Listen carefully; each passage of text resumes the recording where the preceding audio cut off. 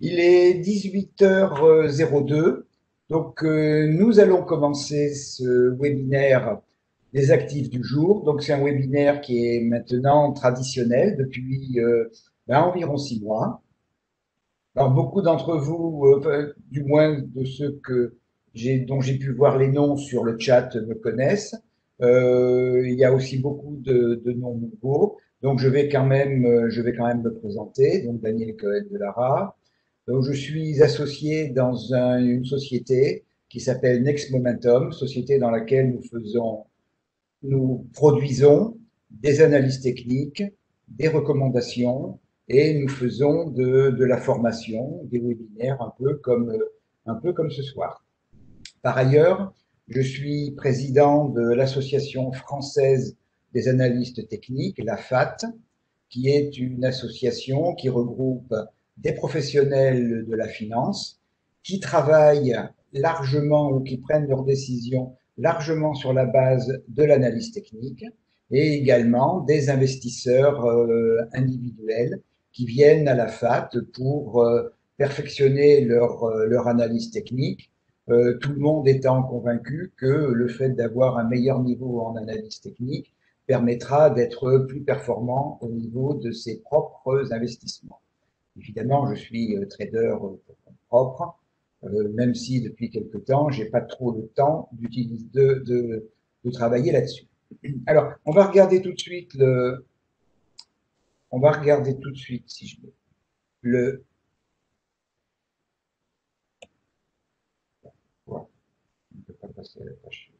voilà, le sommaire de ce que nous allons voir ce soir.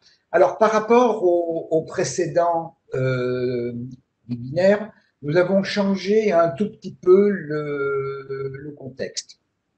Maintenant, nous allons commencer par euh, un focus euh, qui, est, euh, qui va être en général à la frontière entre l'économie et la bourse. Et aujourd'hui, je vais faire un focus sur les, les indices asiatiques comparés aux indices américains et, et européens dans la situation actuelle et l'évolution que l'on peut euh, en attendre sur l'année. Et vous allez voir qu'il y a des dynamiques qui sont euh, assez, euh, assez différentes.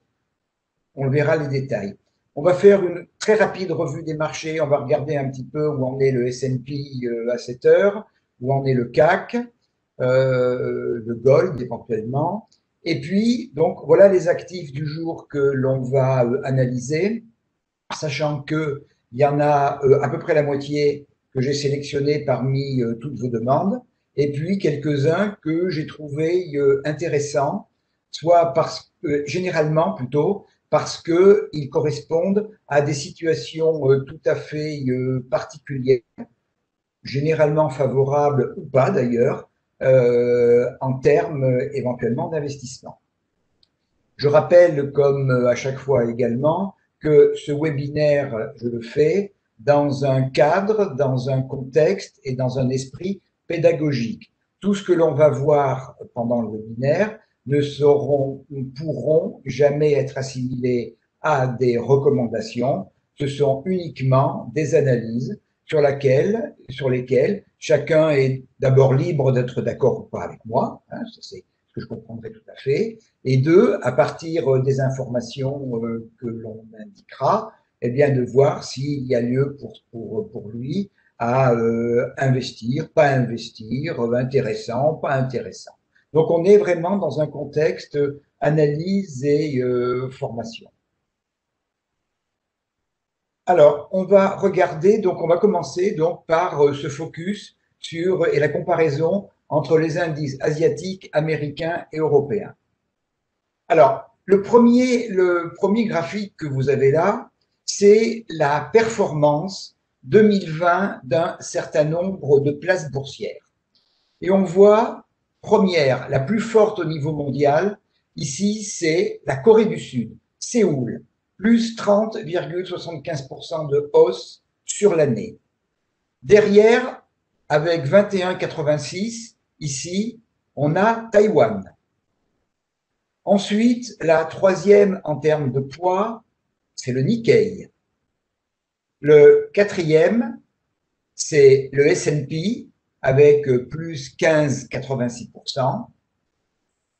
Le cinquième ici, euh, c'est euh, le MCI, donc c'est l'indice, mondial euh, enlevé des États-Unis. Ensuite, on a le sixième à plus 14, c'est le Nifty 50. Le Nifty, c'est l'indice de la bourse indienne.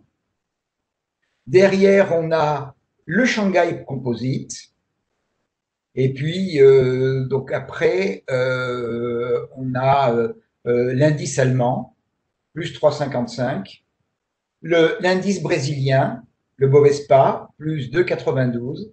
Et le dernier de la classe, malheureusement, c'est le CAC 40 qui a fait moins 6,40%.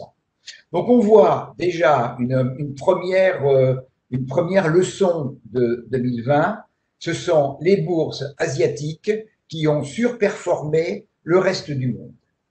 Alors, on le verra dans le tableau récapitulatif tout à l'heure. Bon, euh, vous avez suivi, euh, c'est d'Asie qu'est partie euh, la pandémie début de, fin, de, fin 2019, début 2020. Les Asiatiques avaient l'expérience de précédentes pandémies, SRAS et autres, ce qui fait que, à la fois, les dirigeants, dans la façon de prendre le problème, la, population dans la façon de euh, gérer individuellement et de discipline ont euh, suivi les recommandations, étant déjà expérimentés, et c'est après effectivement le pic qu'on a pu avoir en Chine sur, euh, sur l'hiver dernier, eh bien la majorité de ces pays s'en est ressorti rapidement, les économies sont reparties rapidement, et même, vous avez pu entendre il y a quelques jours que la Chine annonçait que pour 2020, elle présentait une, croissance positive de plus 2,3%, alors que euh, entre les États-Unis devraient se situer aux, alentours de moins 7, moins 8, et euh, l'Europe plutôt à moins 10. Donc, les premiers de la classe, les Asiatiques, les Américains bah, sentir, euh, sentir de manière euh, à peu près euh, correcte. Et puis les derniers de la classe, ce sont les Européens, malheureusement. Là, on va regarder un petit peu plus en détail les indices américains. Alors, je vous ai mis en premier, et ceci expliquant beaucoup la, la réalité des performances, je vous ai mis le SOX, alors, le SOX, euh, c'est l'indice des semi-conducteurs et qui est coté à Philadelphie. Alors, cet indice l'année dernière a fait plus 51%. Et c'est pas étonnant de retrouver juste derrière le Nasdaq 100 qui a fait plus 47%. Le Nasdaq complet, c'est-à-dire le Nasdaq Composite, plus 43. Le Russell 2000, alors le Russell 2000, c'est l'indice des euh, mid et small cap américaines, sachant que euh, ces mid et small cap US euh, sont très souvent bien supérieurs en taille et bien bien supérieurs en profitabilité à beaucoup de nos très grandes entreprises européennes. On a le S&P 500 derrière à plus 16, le Dow Jones Transport, lui étant un indice depuis, bah, depuis plus d'un siècle, depuis Charles Dow, c'était euh, une des bases de son, approche. Euh, le Dow, il, travaillait sur euh, deux indices importants. Le Dow Jones, qui avait été, qui avait été créé par lui, et le Dow Jones Transport, qui était un indice avancé de l'activité économique. Évidemment, plus on produit de marchandises, plus on a besoin d'en transporter. Donc, si l'indice transport est haussier, il est euh, fort probable que euh, derrière, l'indice de base, de Dow Jones, euh, le soit lui également. Vous avez un indice ici qui s'appelle le S&P 500 Equally Weighted. Alors, c'est, vous prenez les 500 entreprises du, du S&P et vous leur donnez exactement la même pondération. C'est-à-dire que vous donnez à des Apple, des Microsoft, exactement la même pondération que le 499e et le 500e, la 500e entreprise euh, américaine. Et vous vous retrouvez en fait avec une hausse, certes, mais qui n'a pas la, taille de la hausse des autres principaux indices, le, S&P 500 lui-même et bien entendu les indices technologiques. Alors, 10%, euh, on aurait bien aimé les avoir en Europe, mais cela apporte un peu de pondération au sentiment que l'on a que euh, bah, l'année dernière, euh, les indices américains ont, euh, ont, pratiquement touché le ciel, si ce n'est le Graal. Et puis, le dernier américain, c'est le Dow Jones, à plus 7,25. Évidemment, lui, il n'a que des entreprises industrielles, il n'a pas les technos, donc évidemment, il se rapproche un peu plus du S&P 500 Equally Weighted ça laisse quand même, euh, malgré tout, aux États-Unis, des performances tout à fait, euh, tout à fait significatives. Alors, on va regarder maintenant un certain nombre d'indices pour comprendre la dynamique et on, en tirera un certain nombre de leçons. Alors, tous les graphiques que vous allez voir ont deux caractéristiques. La première, ils sont tous en mensuel. Et la deuxième, c'est qu'ils sont, euh, comment dire, je les ai voulus extrêmement sobres. C'est-à-dire que vous avez exclusivement support et résistance. L'objectif, c'est de regarder les bougies et de tirer les bonnes conclusions. Alors, le, Shanghai Composite, lui, euh, il a baissé entre 2012 euh, et on est sur 10 ans sur euh, les graphiques que l'on va voir aujourd'hui. On a la période 2014-2015 qui était la période où la Chine annonçait des, taux de croissance 8-9%, où le développement à la fois des exportations, le développement des entreprises et le niveau de vie euh, des Chinois et le nombre de Chinois dont le niveau de vie était euh, similaire euh, au niveau de vie occidental a été en augmentation très importante. Et puis, essoufflement, et on a une, on revient dans une tendance qui est, bah, qui est plutôt baissière, hein. plus haut, plus bas, un plus haut, plus bas que le précédent, un plus bas, plus bas que le précédent, un plus haut, plus bas que le précédent, un plus bas, plus bas, un plus haut, et là, en 2020, on a cassé la tendance baissière du Shanghai Composite. Et on est reparti euh, à la hausse. Vous voyez, ce qui est intéressant à regarder, c'est en fait ces deux bougies, celle-là et celle-là, qui sont les bougies de février-mars. Euh, vous avez certainement vu sur les indices européens et sur les indices américains cette grande, cette grande baisse pandémique entre le 17 février et le 17 mars. On s'aperçoit que, eh bien, au niveau du Shanghai Composite, on, la voit, on la voit à peine. Personne ne, pourrait imaginer, en regardant ce graphique, qui s'est passé quand même un cataclysme mondial. Et puis, depuis, le Shanghai Composite remonte. Et là, on a fait un plus bas, un plus haut, plus haut que le précédent. Donc, la tendance baissière était invalidée. Un deuxième plus bas ici, plus bas que le précédent. Et à partir du moment où on a franchi ce niveau-là, on a fait, quoi qu'il arrive, un, nouveau plus haut. Et on est revenu dans une tendance haussière de court terme, mais qui s'assimile toujours à la consolidation de la tendance baissière de long terme précédente. Alors les niveaux qui sont, euh, qui sont importants, donc c'est euh, celui-ci qui est euh, aux alentours de 3650, qui est le prochain niveau à franchir, et puis le niveau ici qui est autour de 4000, et puis en dessus, en dessus, ça va, ça va aller, ça peut aller assez vite. Voilà un deuxième, euh, un deuxième, donc le Hang Seng, donc, euh, qui est l'indice de la bourse de Hong Kong, qui a une vision qui est un tout petit peu différente, puisque même depuis que Hong Kong est rattaché à la Chine, qui fait, je crois, je ne sais pas, quelque chose comme euh, pas loin de 25 ans maintenant, euh, Hong Kong bénéficiait d'une situation quand même euh, privilégiée et, Hong Kong était une bourse où beaucoup d'actions qui n'était pas coté avant en Chine euh, l'été. Donc c'est une, bourse importante. On retrouve de manière un peu différente de, de, précédent. Le point bas sur euh, le Hang Seng s'est fait autour de 20 000, euh, ici, début 2016.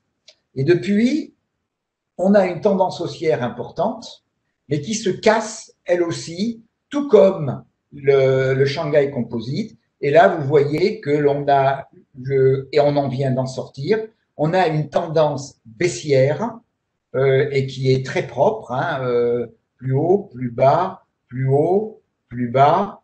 Et là, il y a euh, un mois, euh, à la fin du mois dernier, on est sorti de cette tendance baissière de long terme avec, euh, alors on est le 20, le, combien, le 27 aujourd'hui, ça c'est la bougie du mois, on n'a pas clôturé encore, mais il y a fort à parier que on va avoir une bougie verte.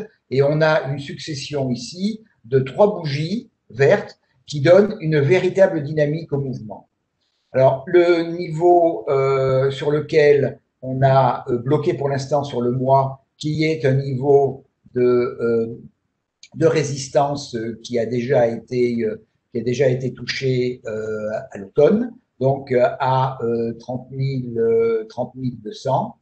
Ensuite, on a 31 400, 31 500, et puis les plus hauts historiques. Mais on voit que euh, depuis deux, trois mois, on a une véritable dynamique. Et là, le Seigneur, en, quelque sorte, derrière, c'est le Nikkei 225. Alors là, on retrouve des, choses qui sont assez différentes de ce que l'on a vu sur les indices chinois.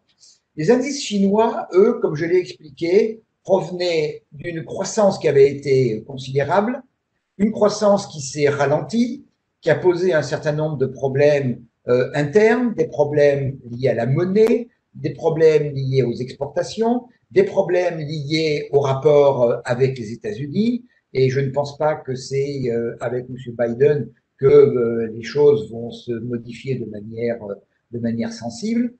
Le, le, Nikkei, lui, a été euh, tout à fait euh, à l'extérieur de ces, euh, de ces contingences. Et on voit une tendance haussière depuis, bah, depuis, au, moins, depuis au moins 8 à 9 ans. Et cette tendance haussière, on a eu une pause, une pause tout à fait significative hein, entre début, début, 2018 et la période pandémie, hein, février-mars 2020 donc pratiquement pendant deux ans, le Nikkei n'a pas bougé, n'a pas fait grand-chose. Et puis, là également, à partir du mois de, du mois d'avril, et même probablement si on se mettait en vision hebdomadaire ou quotidienne, à partir du 15 mars, euh, qui était donc le point, le point bas, on a une progression euh, absolument considérable, puisque en euh, moins d'un an, en 10 mois, 10-11 mois, le Nikkei est passé de 16, en gros 16 300, 16 400 à pratiquement 29 000. C'est-à-dire qu'on a eu une progression de 80% avec quasiment euh, aucune consolidation. Vous voyez une toute petite bougie rouge ici, une toute petite bougie rouge, c'est une progression euh, tout à fait, euh, extraordinaire. Alors maintenant, pareil, le, S&P. Le S&P, lui, euh, depuis 9 ans, on a une tendance haussière avec pratiquement une toute petite consolidation ici, début 2019. Évidemment, la période pandémie. Et là, contrairement aux indices euh, euh asiatiques, euh, on voit très bien, on voit très bien la baisse pendant, pendant la période de la pandémie. Et depuis, on a un redémarrage qui est pas aussi fort que le Nikkei, puisqu'on a euh, ici quand même une consolidation, même si elle n'a pas été, euh, pas été violente, elle a existé quand même, puisqu'on euh, est passé de 3006 à 3000, 3250, 3300. Donc on a quand même consolidé de 7 ou 8% Et puis, vous voyez la bougie actuelle. On n'est pas clôturé. Hein. On n'est pas clôturé encore, puisqu'on est en mensuel. Là, on a une pause, puisque le, la bougie actuelle est un doji. Alors que on a vu dans les, les, indices, les indices asiatiques, eh bien, le, mois de janvier a été un excellent mois. Alors, et je termine euh, ces indices par le stock 50 return. Alors, je précise, le stock 50 return, c'est l'indice des 50 plus grosses entreprises européennes. Et return signifie avec inclusion, réinvestissement, pardon, des dividendes. Un petit peu comme, euh, un petit peu comme le DAX, en fait, de manière différente du, euh, du CAC. Jean-Louis, vous me dites que vous avez un écho. Euh, je ne sais pas du tout. Euh, si d'autres personnes ont un problème, qu'elles me l'indiquent. Euh, je ne sais pas du tout ce que je peux faire puisque j'ai l'impression que le son est toujours, est toujours OK. Je suis un petit peu désolé de... je n'ai touché à rien. je ne sais pas. Peut-être que si vous avez... Non, on me dit que le son est bon. Peut-être que vous avez ouvert deux fois le webinaire. Regardez que, le, que le lien n'a pas été ouvert deux fois. S'il est ouvert deux fois, il est logique qu'il y, ait un, écho. Vérifiez ce point. Et le, stock, 5, le stock 50, oui, j'ai oublié de vous indiquer quelque chose. Pardon. J'ai oublié d'indiquer quelque chose qui est... Voilà. On a dit tout à l'heure que euh, la notion de pandémie, on la voyait à peine, ici sur le Shanghai Composite, et vous voyez que depuis la fin de cette période de baisse de février, février-mars, on l'a oublié extrêmement rapidement. C'est-à-dire que dès le mois de juillet, on avait refranchi le plus haut avant la pandémie.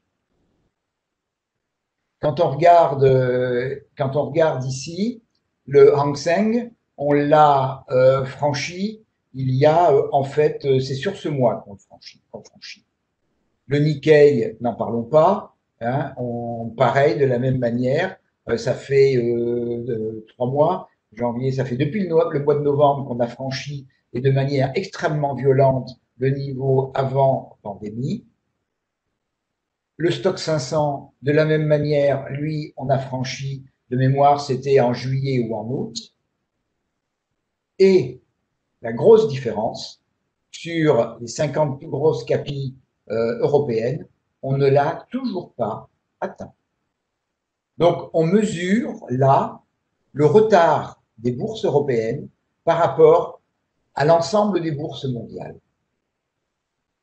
Et voilà un peu la conclusion sur l'analyse.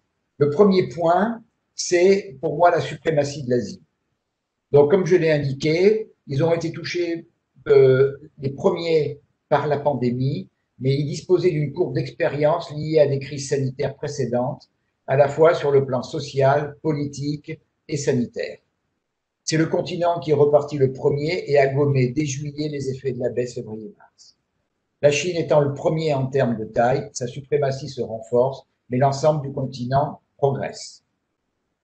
Les USA tirent également leur épingle du notamment grâce au secteur technologique, suprématie du Nasdaq, et à l'attitude bienveillante de la Fed. Et puis, eh bien, la vieille Europe est à la traîne. Économie vieillissante, système bureaucratique qui pèse et retarde tout, Bruxelles, Madame, euh, euh, Van der Leyden avait annoncé euh, dès le mois de mars la mise en place d'un grand plan d'aide et de relance.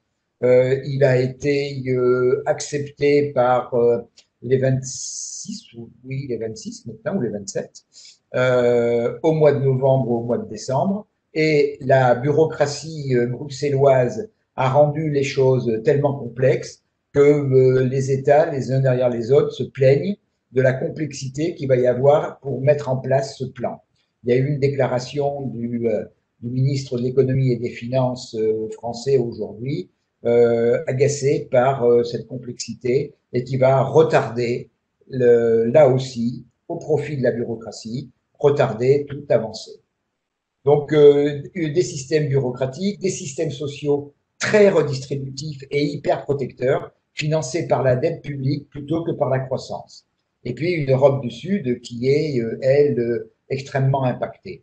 Il y a ce deuxième point, c'est qu'entre Europe, Europe, du Nord et Europe du Sud, on sent que les différences qui étaient déjà significatives se, sont en train de se creuser euh, là également. Les pays euh, les moins endettés, euh, les pays qui ont, comment dire, un, une balance, une, comment dire, un budget national à l'équilibre ou proche de l'équilibre, eh bien, arrivent à s'en sortir plus facilement. Et celles qui ont un déficit public, malheureusement comme la France, euh, qui était très important et qui devient très très important, eh bien la marge de manœuvre va être de plus en plus étroite.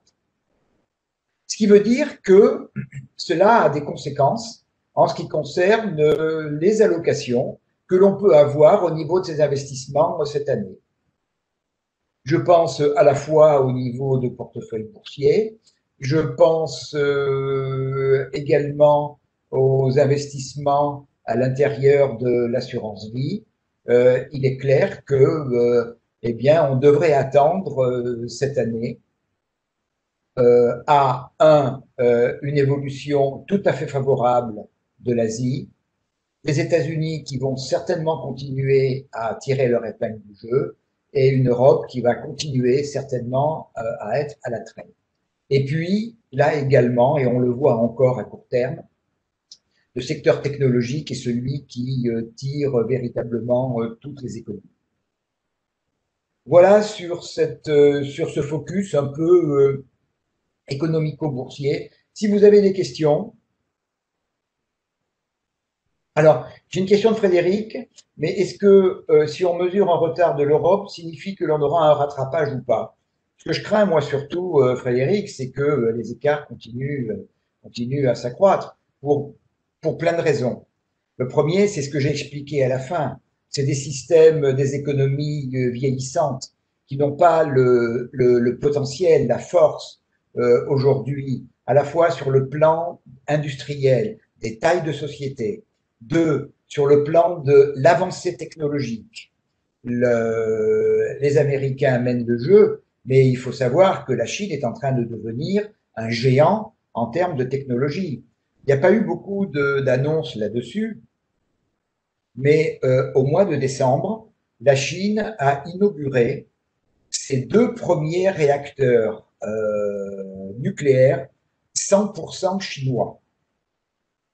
La Chine va sortir de, son, niveau de, CO2 extrêmement abyssal en faisant exactement le contraire de ce que nous faisons.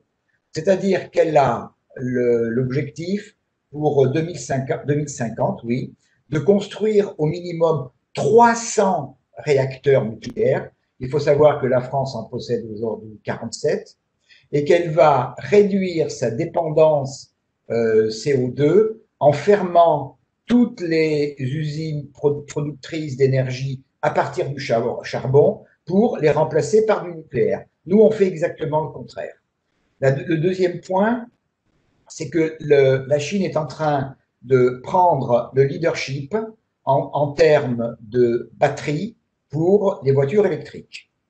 Elle est en train de monter des usines absolument colossales et l'Europe et les États-Unis ont un retard malheureusement conséquent. Alors a été annoncé, je crois que c'était euh, hier, un, plan de développement euh, d'usines pour fabriquer des batteries euh, électriques avec euh, la collaboration de l'Europe.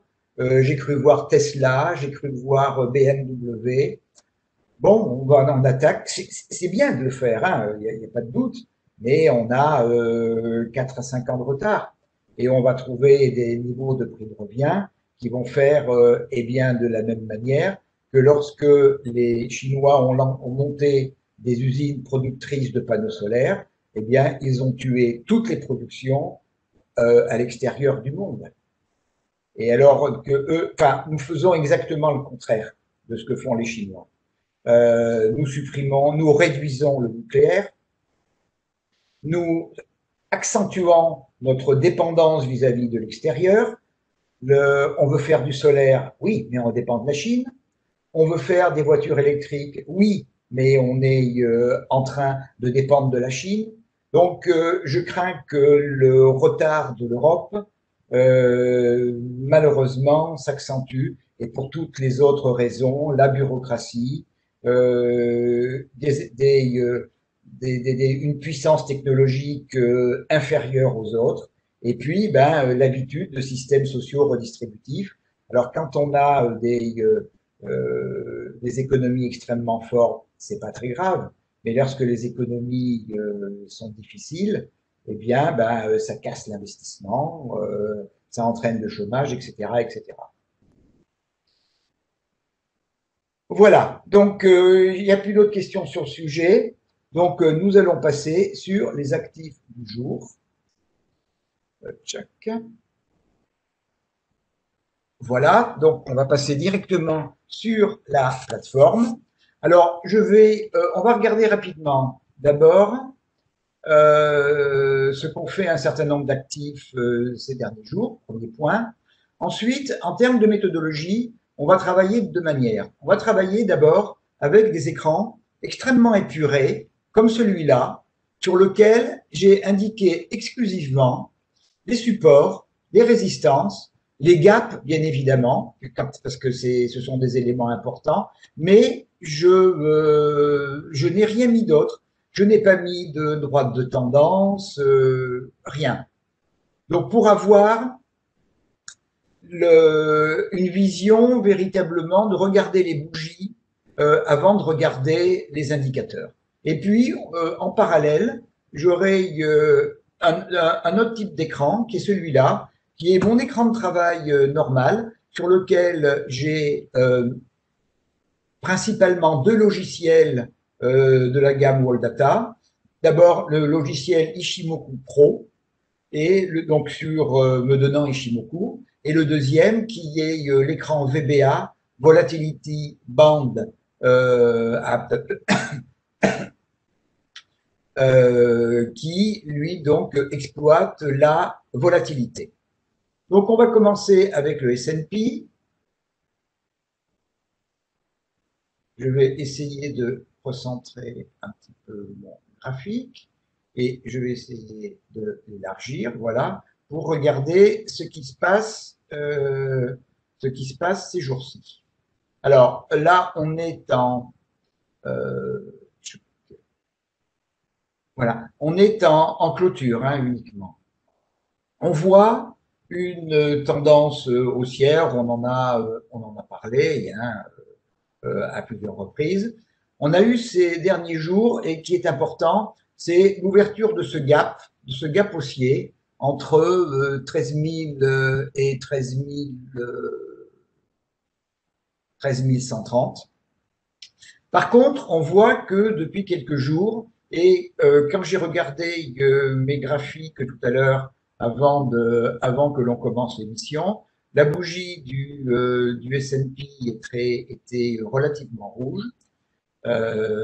on voit que la dynamique haussière depuis quelques jours est en train de, euh, bah, est en train de fléchir.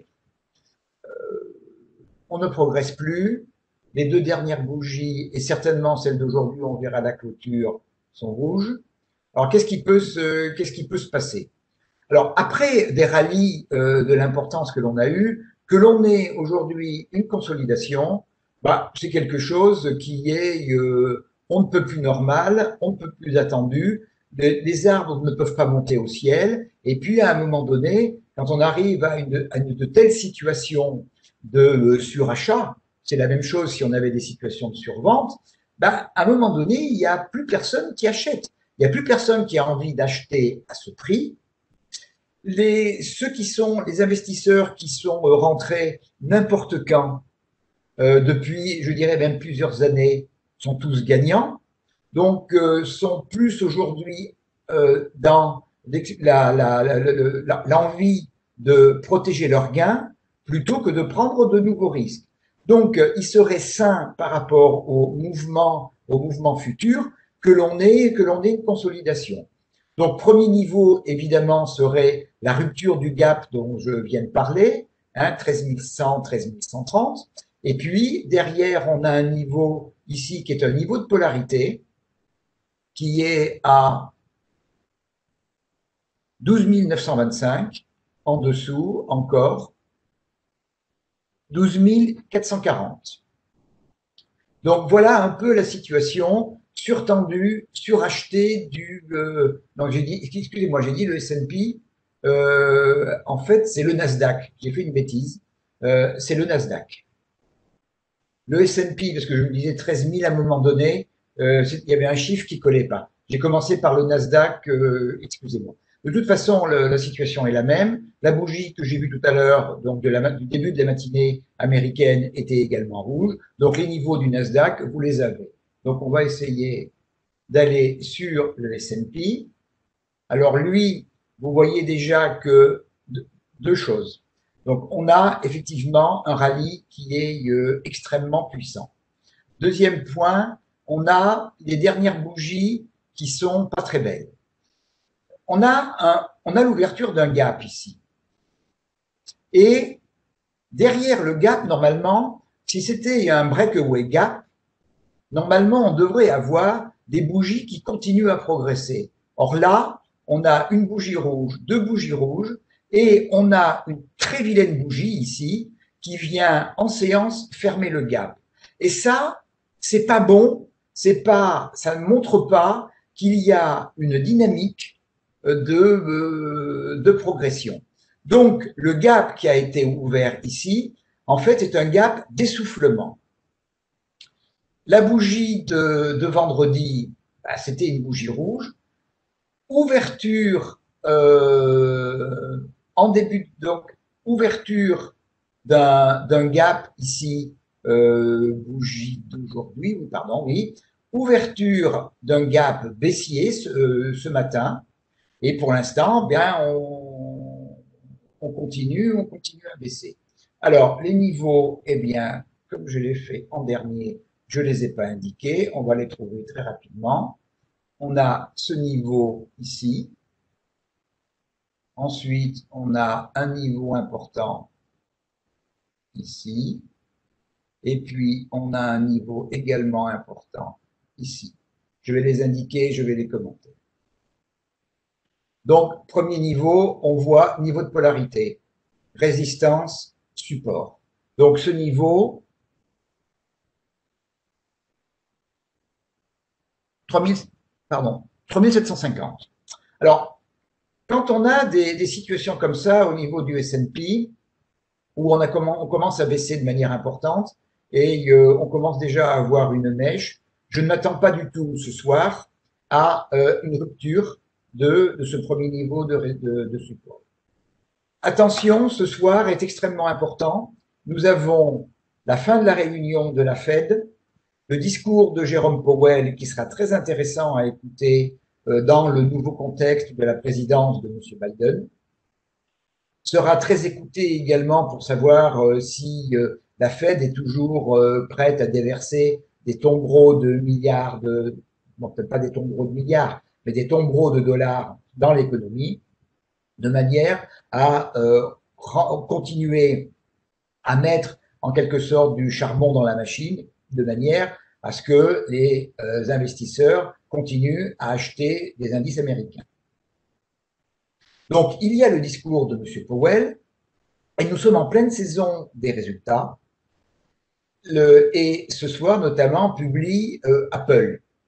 Ok, Apple aura le, le, résultat d'Apple va être évidemment euh, extrêmement scruté au niveau de non seulement du Nasdaq, du S&P, de la technologie.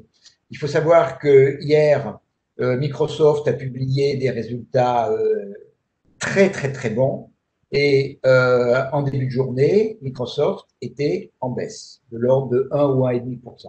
Je ne sais pas comment elle clôturera, mais voyez, malgré des bons résultats, eh bien, euh, ça a du mal à progresser. Ça veut dire néanmoins que euh, on est un petit peu probablement en panne d'acheteur. Deuxième niveau qui est également un niveau de polarité, juste en dessous, qui est donc à 3007. Euh, Et puis, en dessous, vous avez le troisième niveau qui est à 3640.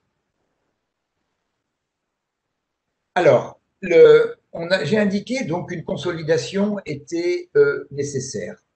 Après, il va falloir euh, regarder quelle va être si, si elle se produit.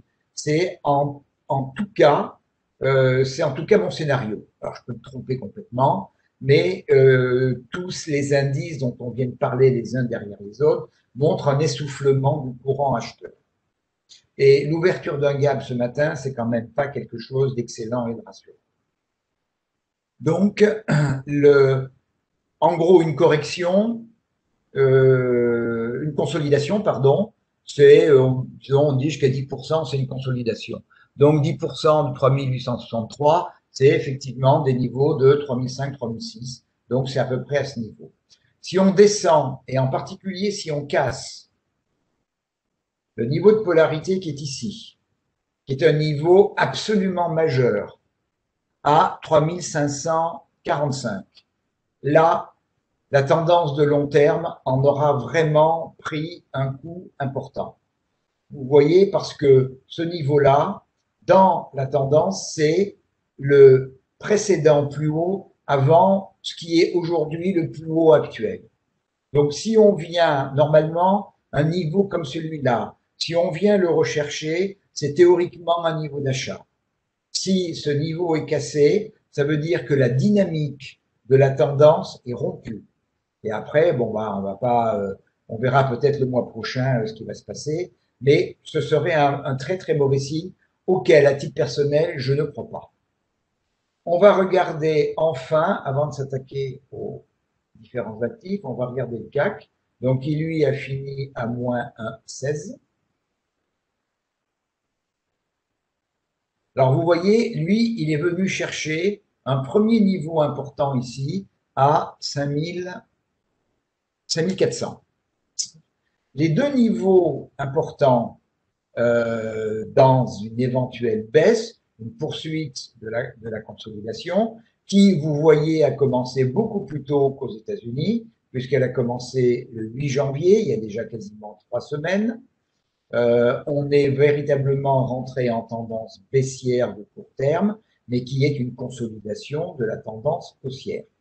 Le deuxième niveau qui est important, c'est celui-là, qui est à 5335, 337, et on a même quasiment euh, toute une zone entre, euh, entre ces deux niveaux qui est la zone en dessous de laquelle il ne faut pas, il faudrait limiter la consolidation.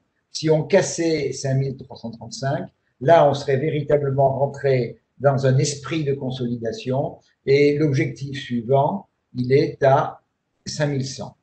On va euh, regarder rapidement avec euh, mon écran personnel. Je vais agrandir un petit peu. Donc, euh, c'est pour ceux qui connaissent, euh, qui ont l'habitude de, pratiquer notamment l'Ishimoku et les bandes de Bollinger. On voit que depuis trois jours, depuis trois jours de baisse, on, est, on essaie de, de, rester à cheval au niveau de la Kijun, qui est ici à 5513 donc qui est un niveau qui est particulièrement important, équilibre euh, point moyen des 26 dernières périodes, et surtout, surtout, euh, niveau de polarité à nouveau. Résistance ici, support, support, support, support, support. On a euh, cassé le niveau, on est revenu le chercher, et aujourd'hui, on vient le recasser à nouveau. Donc, pour l'instant, le niveau de Kijun, c'est un niveau de résistance et on est en train donc de s'enfoncer dans le, dans le nuage. Et vous voyez que la, la, zone euh, qui est en cas de rupture de 5335, donc le fait de passer de consolidation à correction, et serait le niveau euh, d'atterrissage pour moi, et c'est exactement, c'est également une zone hyper importante puisque c'est un plat de SSB qui est, euh, qui est important. La deuxième chose que je voulais vous montrer également, c'est que, vous voyez ici la bande de Bollinger basse c'est ouverte. Et pour ceux qui ont l'habitude de pratiquer euh, VBA, eh bien, on est en train de euh, limite euh, casser la bande de Keltner. Donc on est pour l'instant pas bien parti au niveau du CAC. Bon, je vous ai donné les niveaux. Maintenant, on va passer aux actifs dont on a parlé. Alors, je ne vais pas forcément les faire euh, dans l'ordre euh, que j'avais euh, écrit tout à l'heure dans le PowerPoint. On va les faire au fur et à mesure où ils se présentent. Alors, la première que j'ai que j'ai regardée, c'est une société, une petite société qui s'appelle Fermentalgue, qui est une, une, une société, donc une bio, et qui euh, utilise les, algues et les microalgues euh, pour euh, transformer euh, des déchets, notamment plastiques, afin d'en faire de l'énergie. A été annoncé au début de, de 2021 la création d'une co-entreprise avec Suez, donc dans le traitement des eaux. Donc, ce qui intéresse effectivement Suez, qui travaille sur le traitement sur le traitement et la distribution euh, de l'eau qui intéresse effectivement le fait de euh, dépolluer en quelque sorte, euh, désoxygéner euh, les eaux qui, qui vendent. Donc on a eu une progression considérable du titre qui est passé de 1,50 à 4,75 en euh, une grosse quinzaine de jours. Alors, système tout à fait classique, euh, l'annonce très forte progression, puis à un moment donné, euh, ben, il n'y a plus d'acheteurs. Et vous le voyez très bien sur la bougie du 18 janvier, c'est-à-dire qu'on est parti euh, en roue, en vert, pardon, et puis vous avez une mèche euh, haute très importante, ce qui témoigne de, euh, eh ben, du fait qu'il n'y a plus d'acheteurs. Donc les vendeurs reprennent la main, ce qui est un petit peu normal. Un certain nombre d'acheteurs ben, sont, se disent, bah, on a fait quand même un, beau bénéfice. Donc, euh, prenons, euh, prenons vos bénéfices. Petite, petit clin d'œil à ceux qui ont suivi les formations que j'ai pu faire sur, sur VBA. Le, la, bande de on était en, bande de Bollinger se sont écartés, donc phase 2. Et puis, on voit que la fin de la progression s'est faite en fin de phase 2. Souvent, ça se fait en fin de phase 3. Là, ça s'est fait en fin de phase 2. Donc, ce qui, fait que dans le mouvement euh, haussier, on avait un certain nombre d'investisseurs qui étaient venus sur le titre uniquement d'une manière spéculative. Et à partir du moment où euh, on a commencé à sortir de la phase 2, eux-mêmes sont sortis, ce qui a donné effectivement deux jours de baisse tout à fait significative on est dans la situation actuelle aujourd'hui. On est peut-être actuellement, on a marqué le, point bas de la, euh, du mouvement, donc euh, à 3,14, 3,15. On a eu une belle bougie de retournement, mais qui n'a pas été confirmée aujourd'hui. Évidemment, si on est en phase de euh, consolidation au niveau des indices, le redémarrage de, euh, fermentalgue pardon, ben, risque d'être un tout petit peu retardé, mais devrait normalement quand même, euh, devrait quand même se faire. Alors, on va essayer de regarder. Donc, on a un niveau de soutien qui est un niveau de soutien important. C'est le retracement 50 de Fibonacci. C'est la moyenne mobile 20 eh ben, qui, a fait, euh, qui a fait support. Et c'est euh, pour euh, les, les Ishimokuistes, eh bien, c'est euh, là qu'il joue. On aurait donc trouvé un certain niveau d'équilibre qu'il ne faut pas rompre. Donc, ce niveau d'équilibre, il est à 3,15. Donc, rompre 3,15 serait un mauvais message. Rompre le 61,8 de Fibonacci à 2,75 serait un très mauvais message parce que statistiquement, ben, quand on casse euh, le 61,8, la probabilité de revenir à l'origine du mouvement est très très forte. A contrario, si euh, dans les jours qui viennent, euh, Fermentalgue remarque sa, remarque sa progression, donc euh, on a les niveaux objectifs sont déjà de retrouver le plus haut à 4,86 et puis j'ai mis les extensions de, Fibonacci avec les différents niveaux euh, 5,25 et 5,71. L'Oréal. Alors L'Oréal, on va d'abord donc la regarder de cette manière-là, avec uniquement... J'ai mis une oblique ici quand même, parce qu'elle est importante. Donc L'Oréal, et vous la voyez sur plus longue période, puisque là, on va de, euh, du mois de mai de l'année dernière jusqu'à euh, maintenant, c'est-à-dire à peu près 8-9 mois.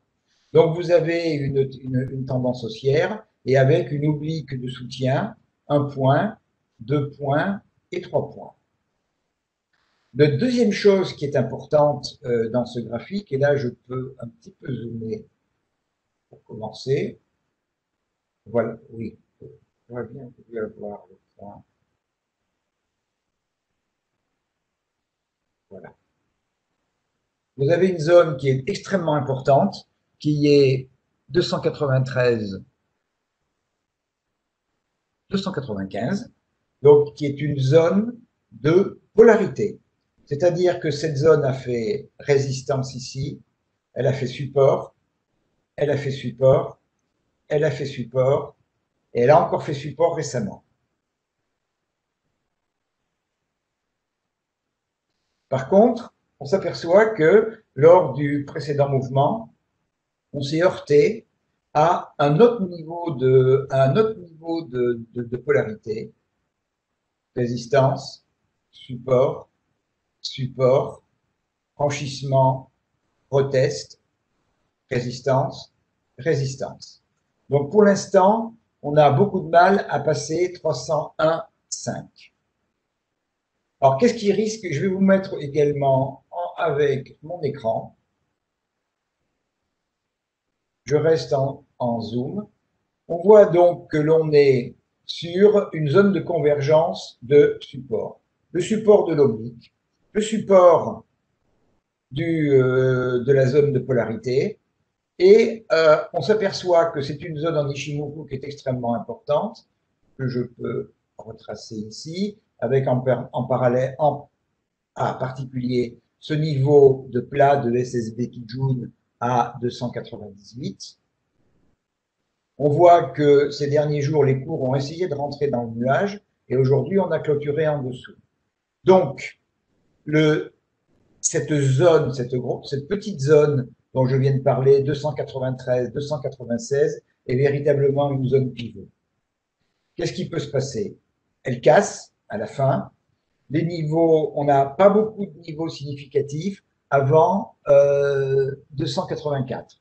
Donc le retour, un retour vers 284 est tout à fait envisageable.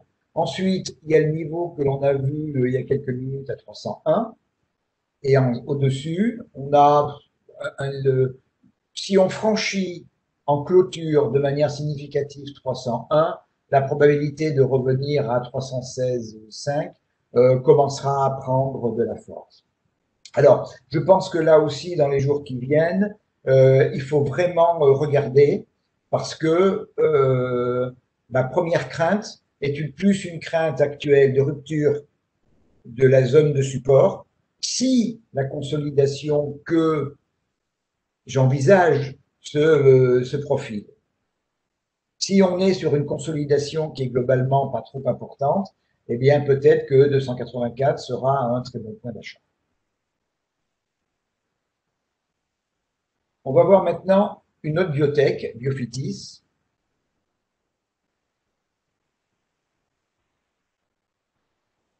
Alors, j'ai, euh, je vais essayer de si ça reste propre. Non, c'est pas très facile. Niveau. Non, c'est pas plus facile. Donc, Biofitis, euh, pareil, là, je suis depuis, enfin, pas pareil, je suis depuis, euh, en gros, depuis le mois de septembre, donc depuis euh, cinq mois. Tendance, tendance haussière, tout à fait classique, une consolidation avec un bel, un bel avalement baissier ici et plusieurs jours de baisse. Et on est néanmoins revenu chercher ici un niveau qui est important, qui aurait été, il aurait été très gênant de le casser, qui est ce niveau A 0,78, 79, 0,79. Et on a rebondi euh, ce niveau, je, précise pourquoi il est important, parce que dans la hausse, c'était le précédent plus haut avant le, avant l'actuel, quand on était ici. Donc ce niveau est théoriquement, on l'a vu pour un autre actif tout à l'heure, le, le niveau euh, en question, ou c'est un niveau d'achat qui relance la tendance, ou c'est un niveau de, enfin, le niveau est cassé, et à ce moment-là, on invalide la tendance haussière. Euh, J'ai loupé la question de Jean-François qui me disait le CAC étant baissier, L'Oréal ne sera-t-il pas entraîné à la baisse automatiquement? Alors, ça me paraît logique qu'il soit entraîné euh, à la baisse. Euh, le secteur euh, du luxe, L'Oréal, c'est à la fois de la grande consommation sur certaines marques, c'est du luxe sur d'autres marques comme Lancôme, mais le comportement boursier de L'Oréal, j'ai toujours trouvé qu'il se rapprochait beaucoup plus du comportement du luxe que du comportement de la grande distribution. Donc, il y ait une consolidation aussi sur L'Oréal, oui, euh, profonde, à mon sens, moins profonde que, euh, in fine, que celle du CAC. Et euh, lorsqu'on aura fini, si, on, si effectivement la, la consolidation se, se passe, hein, j'ai pas de preuves, c'est mon sentiment personnel et qui n'engage strictement que moi. Euh, si la consolidation sur le CAC se prolonge, euh, on, on, risque de trouver sur des belles valeurs comme celle-là euh, peut-être de très bons points d'achat. Alors, je reviens à Biofitis. Donc, effectivement, nous avons un, un, un, un niveau d'achat sur un niveau qu'il fallait surtout pas casser. On a également, là, vous le voyez, comme on l'a vu précédemment sur euh, Fermentalg, on a un assèchement total de la, de la, du camp acheteur et évidemment consolidation. Et la consolidation s'arrête sur le niveau 38.2 de, euh, eh bien, de, tout le, de tout le rallye. Et lorsqu'une consolidation s'arrête au niveau 38.2, les analystes techniques sont très contents. Ça veut dire, euh, de manière pratique, sur le plan, sur le plan sur le plan de la psychologie des, euh, des investisseurs, c'est qu'il n'a pas fallu descendre de manière trop importante pour retrouver un nouveau courant de nouveaux investisseurs sur le titre. Et lorsque l'on est dans cette situation, on utilise les extensions de Fibonacci pour essayer de se donner un nouveau plus haut et euh, extensions que l'on couple quand c'est possible. Euh, c'est le cas ici puisque Biofitis n'est pas sur un plus haut historique, qu'on essaie de coupler avec les supports et les supports quand on est baissier, les résistances quand on est haussier. Et là, donc, euh, le, le, travail, je l'ai euh, je l'ai réalisé. J'ai fait en fait euh, deux opérations. J'ai fait, mais j'ai pas indiqué, parce que là, là, il, est, il serait illisible. J'ai fait d'abord un, un, premier travail qui était entre, j'essaie de retrouver, voilà. J'essaie, j'ai travaillé sur d'abord les retracements et les extensions de Fibonacci sur tout le mouvement haussier. Et je l'ai fait, comme je vous l'ai indiqué, sur le la dernière euh, impulsion euh, après avoir être venu chercher le niveau important que je vous ai indiqué. C'est pour ça que vous avez en fait deux niveaux ici euh, d'extension de Fibonacci et l'ensemble m'a amené plutôt des bonnes surprises. Voilà. Ici, vous avez un niveau de résistance euh, historique. Et ce que l'on voit, c'est que entre mes deux euh, extensions, j'ai des niveaux qui se chevauchent totalement.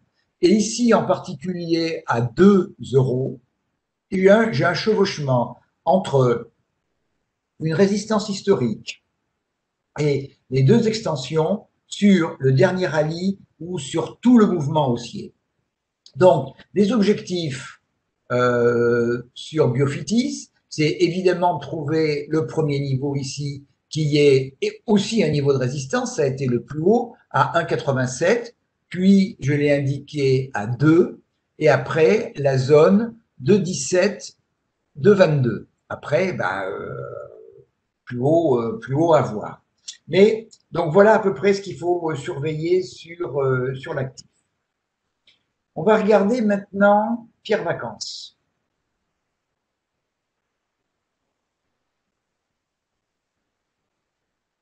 J'essaie de le mettre sur un peu plus long terme pour vous indiquer. Donc, on a une, euh, évidemment, Pierre et Vacances, donc euh, tout le monde connaît, hein, c'est euh, la gestion des parks, et c'est beaucoup de résistants, de résistants, de résidences, de loisirs à la mer, à la montagne. Alors, évidemment, dans la période actuelle, ça fait pas partie du secteur qui est principalement favorisé, c'est le moins qu'on puisse dire.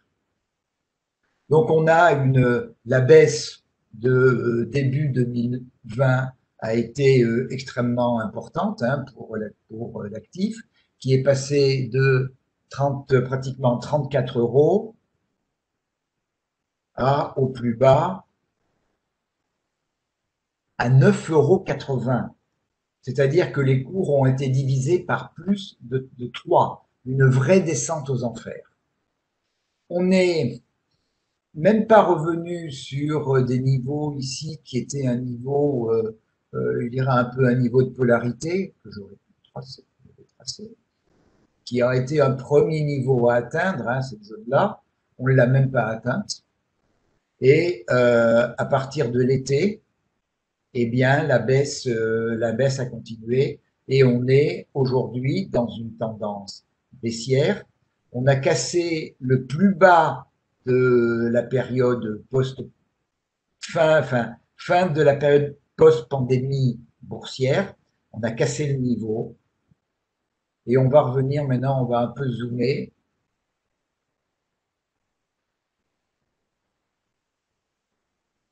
sur la période récente et voir ce qui peut se passer. Alors, la tendance, elle est baissière, hein, bien évidemment. Donc, euh, pour pouvoir invalider cette tendance baissière, on a un niveau, on a même une zone. On a même une zone ici.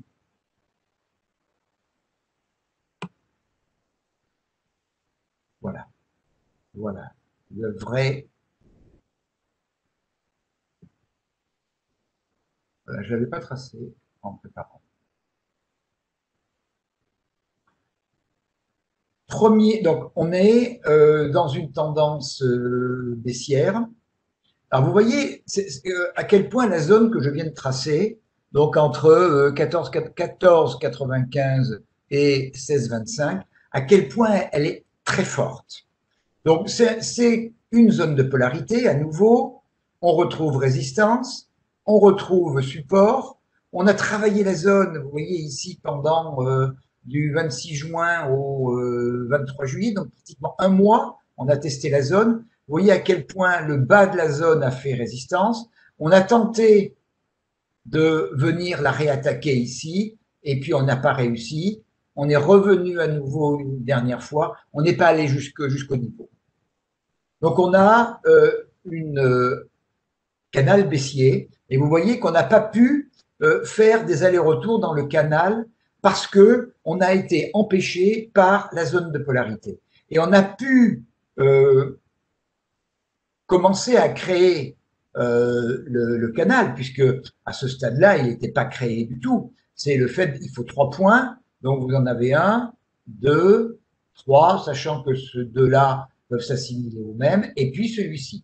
C'est pour moi, c'est véritablement ce niveau qui a validé le canal baissier.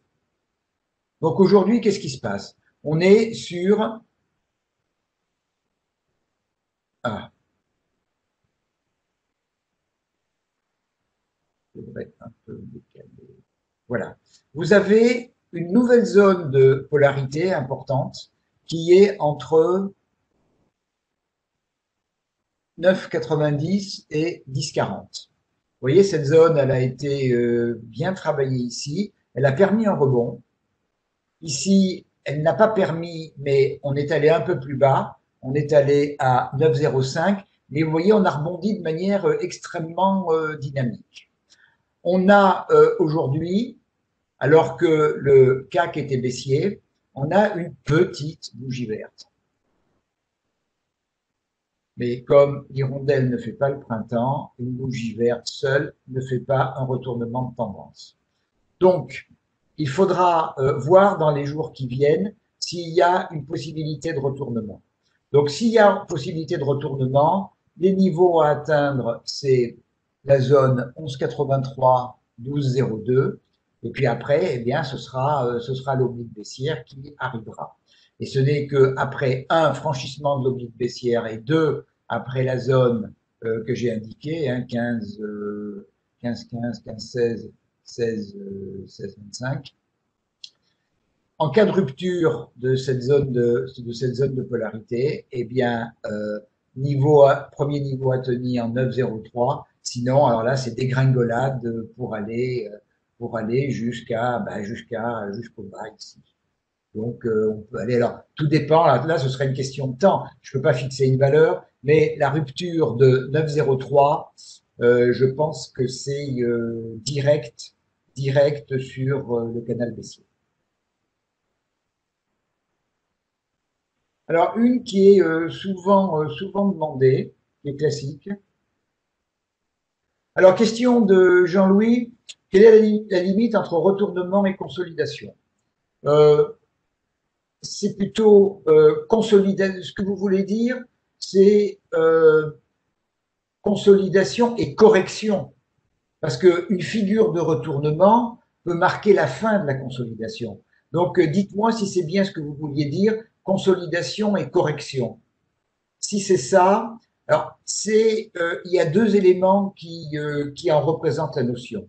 La première, c'est souvent, comme je vous l'avais indiqué, lorsque l'on est, par exemple, en tendance haussière et que l'on casse un niveau euh, de dos important. Par exemple, on a vu euh, sur l'actif précédent hein, que les, les cours s'étaient arrêtés sur un niveau qui était le précédent plus haut dans la tendance baissière, on s'était arrêté au-dessus.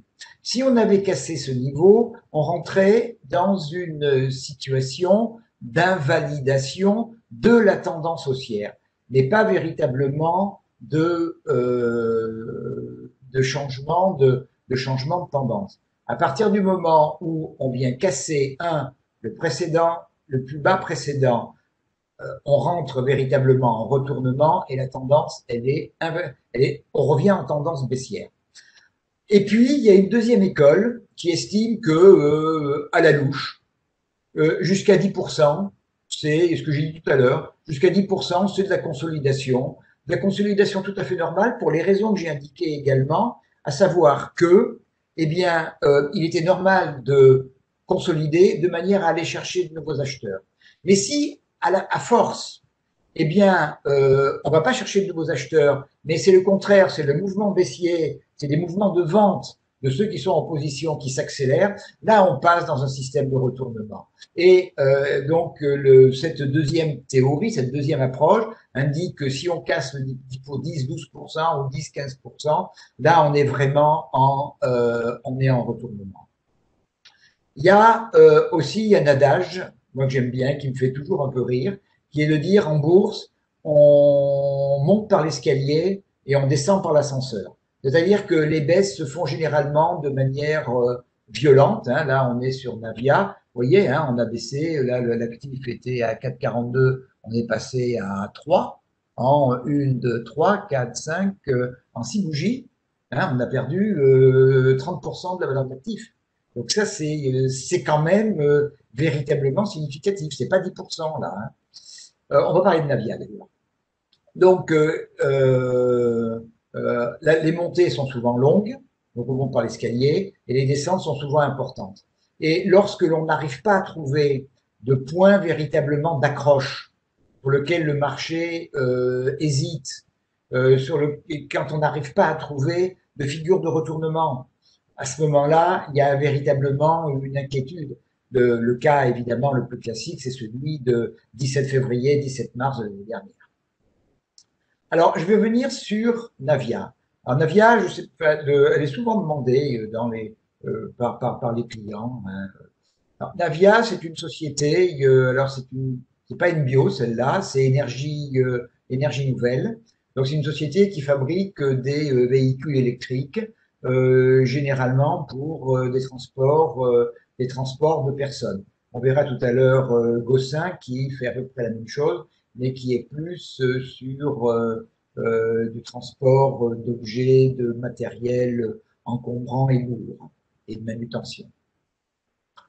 Navia euh, fait partie de ces sociétés qui sont un peu compliquées à traiter euh, en, en, tant qu'investisseur dans la mesure où ce sont des sociétés qui font des chiffres d'affaires euh, faibles. Navia, je crois que euh, c'est quelques millions d'euros, c'est vraiment une small cap. Et c'est des sociétés qui sont encore en phase de, euh, de développement, en phase de recherche, de recherche et développement, qui sont loin d'être stabilisées. Les, les, résultats de Navia de ces dernières années étaient plutôt dans les moins 10 à moins 20 millions d'euros.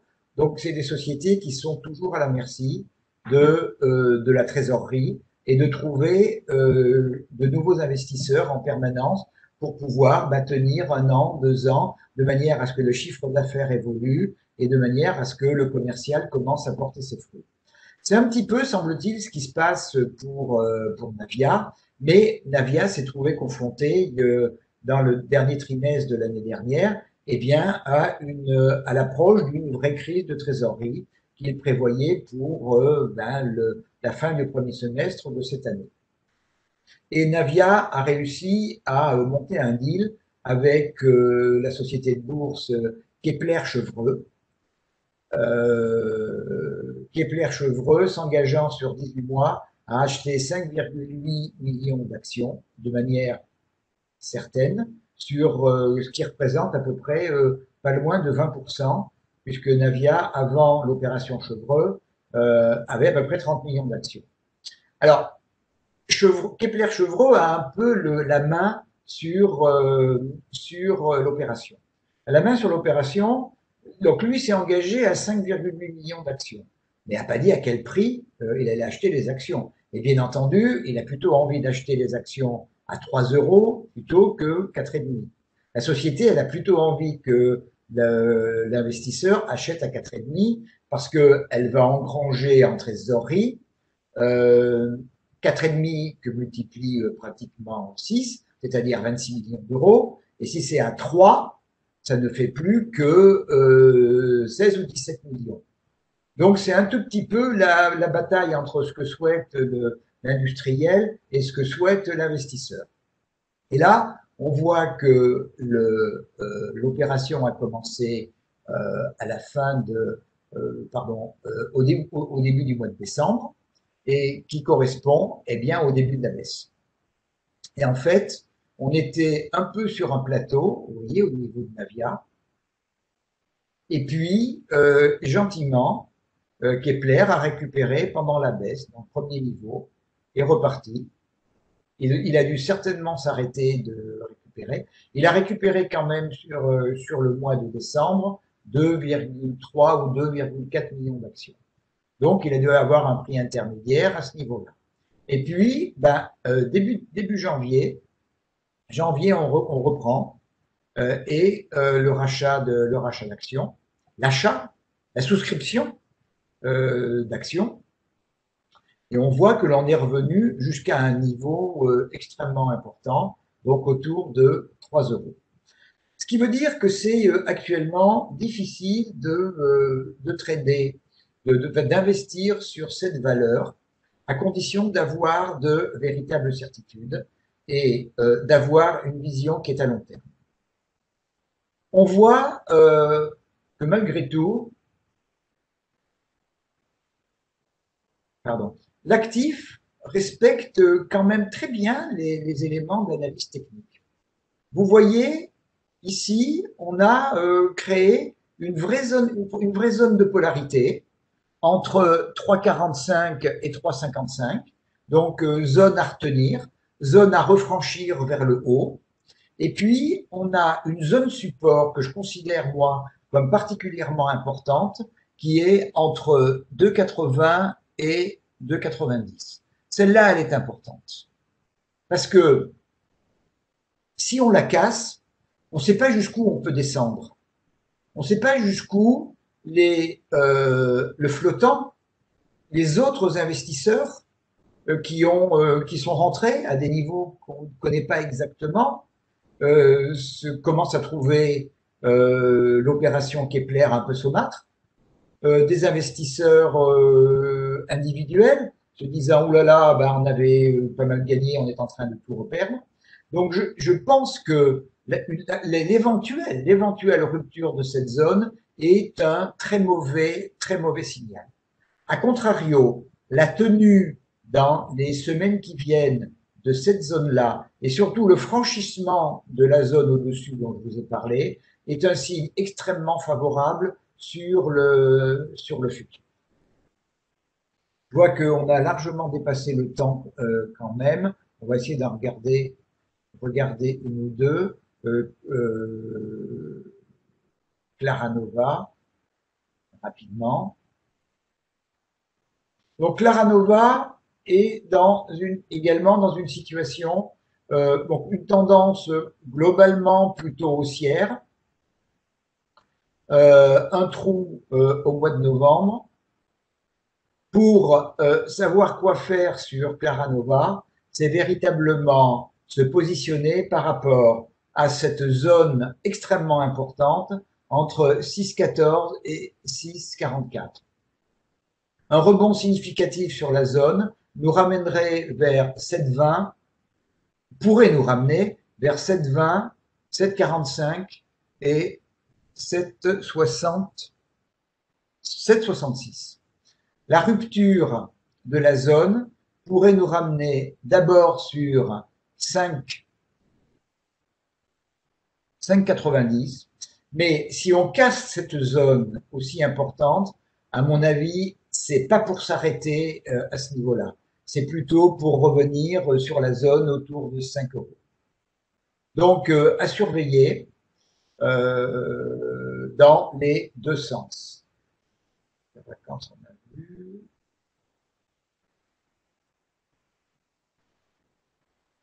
Oui, j'avais parlé de Gossin tout à l'heure et on va probablement conclure sur Gossin. Gossin, comme je vous l'avais dit, c'est un peu le pendant pour euh, la manutention, pour euh, le transport de choses, euh, éléments lourds, de Navia pour le transport de personnes. Gossin est, vous voyez, dans une tendance haussière avec une forte impulsion qui a démarré à la fin du mois de septembre on était aux alentours de 3,20 et on a eu fait un rallye absolument colossal puisqu'il nous a amené aux alentours de 14 euros. On est parti de 3 euros, donc on a multiplié par plus de 4 le titre.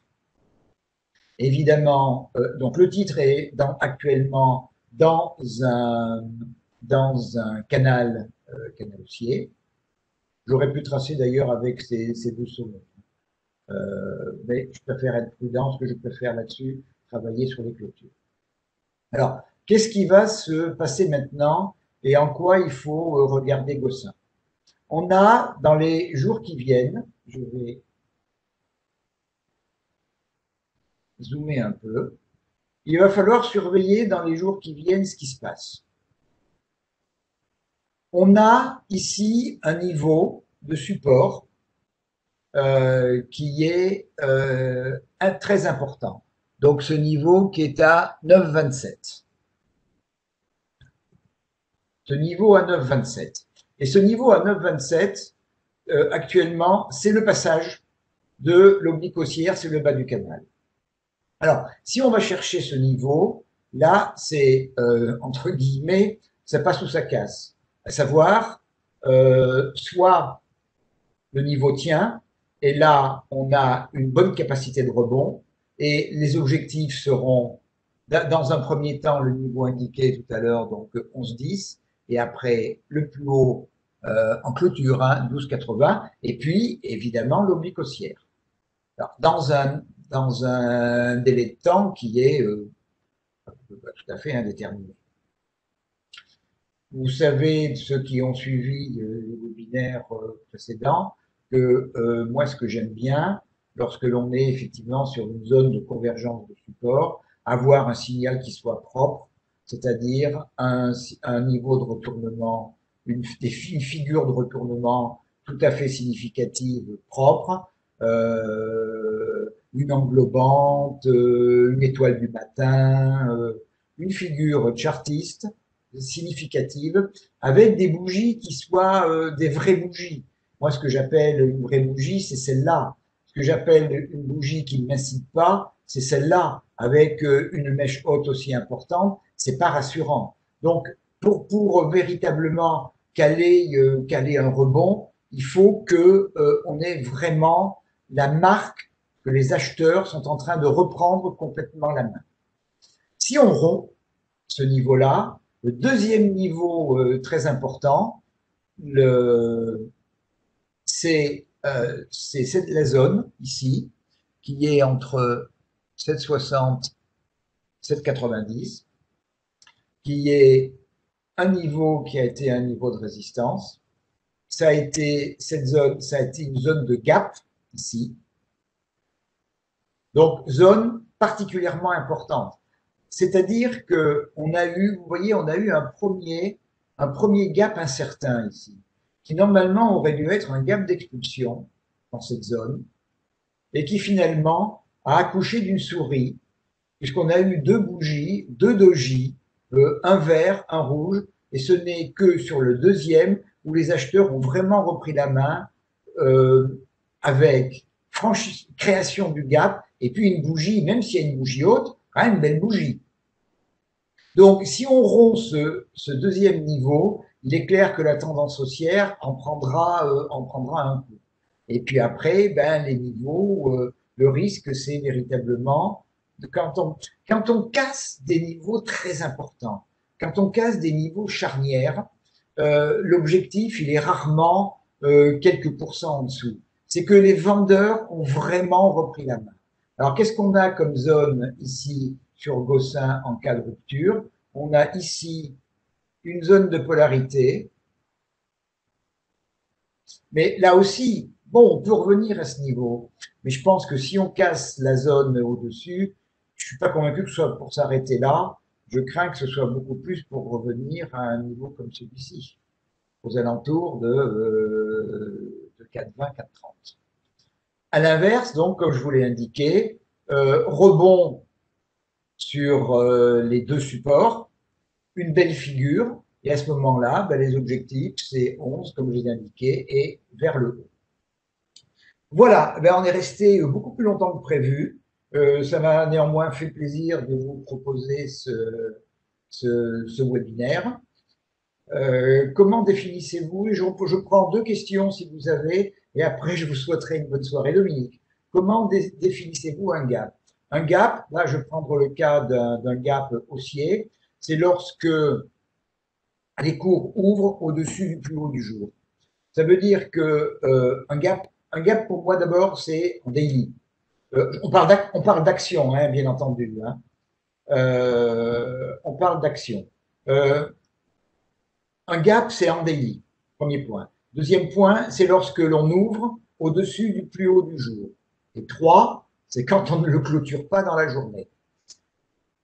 Je ne vais pas, euh, faire aujourd'hui, il y a plusieurs types de gaps. Il y a les gaps communs, il y a les gaps d'impulsion, il y a les gaps de milieu de tendance, il y a les gaps d'essoufflement. Il y en a quatre, en gros. Hein. Euh, mais la définition, c'est lorsque, effectivement, on ouvre au-dessus du plus haut de la veille et qu'on le tient. Euh, Jean-François me, Fabrice, euh, Jean-François, me dit, dommage qu'on n'ait pas vu l'or. Est-ce que je l'ai? C'est assez intéressant. Et l'or est intéressant en Ishiboku. Voilà. Ce qui est intéressant, euh, au niveau de l'or, c'est que après le rallye que l'on a eu ici sur le mois de décembre, on a eu une, euh, une contre-tendance extrêmement puissante avec des bougies extrêmement significatives qui ont accompagné également sur cette période la baisse de l'or.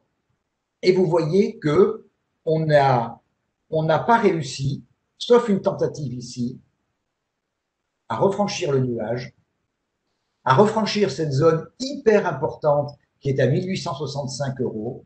Je ne la recherche même pas, je la connais par cœur, ce niveau-là. 1865, c'est un niveau extrêmement important. Le deuxième niveau important est celui-ci, vers le haut, qui est à 1880. Vous voyez, c'est à la fois un, niveau de résistance, un niveau de support, et c'est la Kijun Daily. Ce qui risque de se passer, et ce que j'ai euh, tweeté, je ne sais plus pour quel client, il y a quelques jours, en indiquant qu'à partir du moment où on n'arrivait pas à franchir ce, niveau-là, la plus grande probabilité, c'est qu'on qu continue jusqu'au twist de nuage ici, à évoluer au contact ou sous le nuage. Le twist, il est le 2 février. On n'est pas loin, c'est euh, la semaine prochaine. On arrive dans une zone où le, nuage est en train de s'amincir. On arrive à une zone qui va finir par un twist, donc qui est une zone de convergence des prix entre le moyen, entre le long terme et en gros le court terme. Donc c'est une zone où il y a un équilibre vraiment euh, dans le temps entre acheteur et vendeur. Donc il va falloir qu'il y ait un camp qui gagne. Donc on repart vers le haut ou on repart vers le bas. Dans quel sens euh, on peut partir? Euh, Évidemment, je ne le sais pas. J'aurais plutôt un biais de continuer euh, cette espèce de range au-dessus du nuage parce que à franchir, ça va pas être facile. Il faut vraiment franchir 1900 dollars. On est à 1835 ici et en ce moment on n'est même pas à 1835. On est à euh, pardon non, j'ai dit 1835, 1865, pardon. On est à 1840. Euh, Donc, euh, franchir rapidement pour sortir du nuage, pas facile. Deuxième point, vous voyez que les bandes de Bollinger sont en train de se refermer. On n'a pas trop de volatilité en ce moment. Donc, tout d'un coup, passer au-delà de 1900, je, bon, ça peut se produire, bien entendu. Hein. On a des, on a des gros rallyes, on a dans, et on a des grosses baisses. Moi, je vois plutôt parce qu'on a aussi un nuage qui est euh, tout de suite très épais. Euh, J'ai plutôt le sentiment que l'on va rester euh, dans une zone un peu indéfinie, 1830, 1865. Je vois pas dans la période future. Je pense qu'il faudra plutôt attendre derrière le deuxième twist, c'est-à-dire vers la fin du mois de février, pour que quelque chose se passe éventuellement. Voilà, c'était la dernière question. Euh, je vais m'arrêter là, ça, fait une heure et demie, mais ça a été également avec plaisir. J'espère que ce webinaire euh, vous a plu. Vous le retrouverez euh, euh, sur le replay, ah, en le replay sur la chaîne YouTube de euh, World Data. Et il me reste à vous souhaiter euh, bon appétit déjà et une excellente soirée à très bientôt pour euh, bah, le prochain webinaire euh, euh, dont la date n'est pas fixée, mais qui sera le mois prochain. Bonne soirée à tous.